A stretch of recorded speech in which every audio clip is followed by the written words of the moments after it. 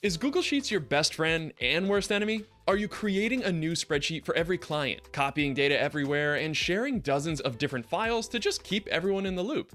The good news is that Airtable can solve all of that.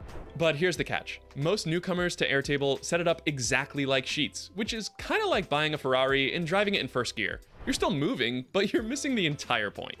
Hi, I'm Tom from X-Ray Tech, the workflow company. Today, I'm going to show you the three-part strategy that transforms chaotic spreadsheets into a single, scalable system that actually saves you time.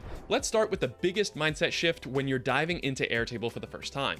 In Google Sheets, you probably create lots of new sheets. A new spreadsheet for every client or project, for every object you want to track, or contributor to the process.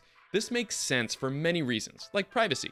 You don't want client A seeing client B's data. But making all these different sheets creates a whole nother problem.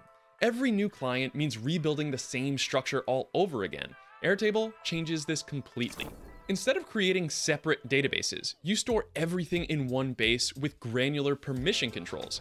Let's say you're running a real estate company and maintaining records for all of your buyers and available properties. In Google Sheets, you'd have to make a separate sheet for each buyer to show them recommended properties. But in Airtable, you can add all of your buyers to one table and all of your properties to another linked table. Then you can share a customized view with each buyer so that they only see the properties that they're supposed to. No more tedious copying and pasting, just easy point and click configuration, all in one place. Let's look at how you can connect your tables together. This is where Airtable really shines, relational databases. Let's say you're doing task and project management in Airtable, like we do at X-Ray. You'd have each project linked to a client, just like we do. And every project would be linked to several tasks, which would display key information like deadlines through lookup fields. Then, when your client requests a deadline change, you only need to edit that date once. In every linked task, you'll see a new deadline updated automatically. No more hunting through dozens of spreadsheets to make one simple change because that change propagates everywhere it needs to go.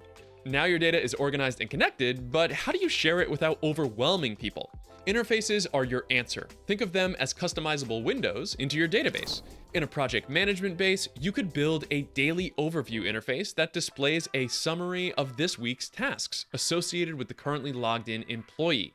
You can add a calendar view to show key deadlines and Kanban board to show this week's tasks broken up by status, to do, in progress, and blocked.